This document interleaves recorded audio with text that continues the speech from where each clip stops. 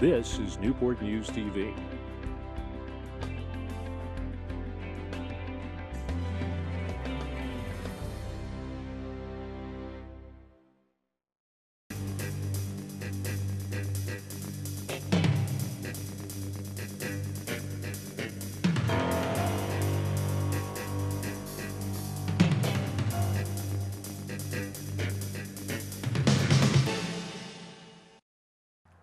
Newport News Police need your help to stop two men who are preying upon elderly citizens.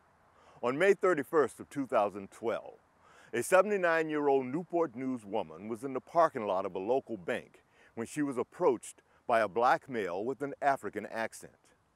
Minutes later, a second male appeared, and before long, both had scammed their victim out of thousands of dollars. We need your help to locate these men and bring them to justice.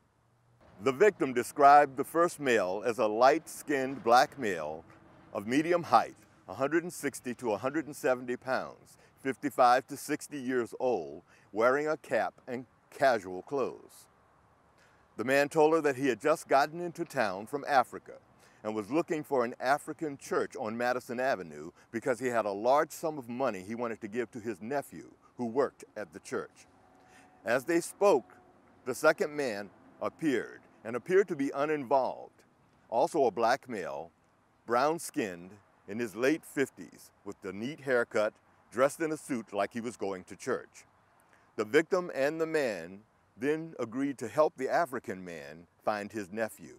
At the church, the suspect entered and returned with a letter saying that the nephew had died. The African male offered to leave the money with the victim and the suspect to do good works if they could show that they were honest and had money of their own. To prove this, they had to remove money from their banks to show the African male.